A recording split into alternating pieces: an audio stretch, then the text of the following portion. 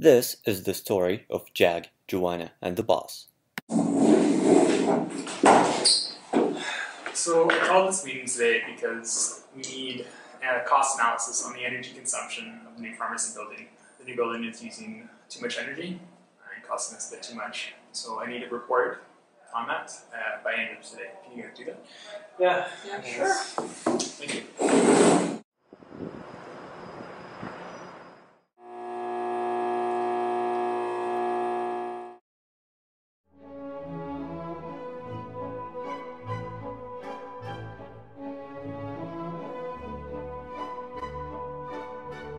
Let me explain what's happening here. They're both collecting power data.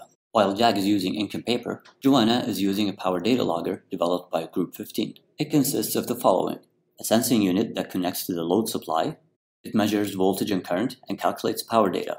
It stands alone with no external power supply. It's also accurate to within 5%. It communicates wirelessly with a gateway that deposits the power data into a database. One gateway can handle many sensing units in parallel to acquire real time data.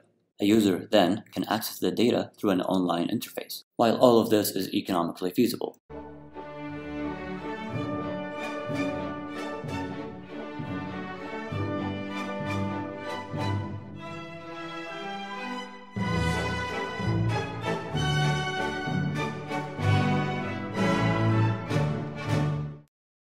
Hey guys, so what do you got to show? Um,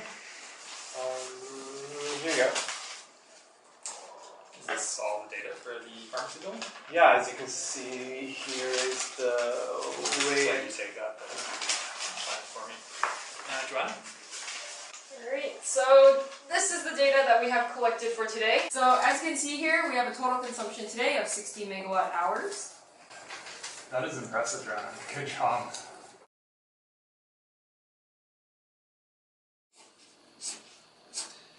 And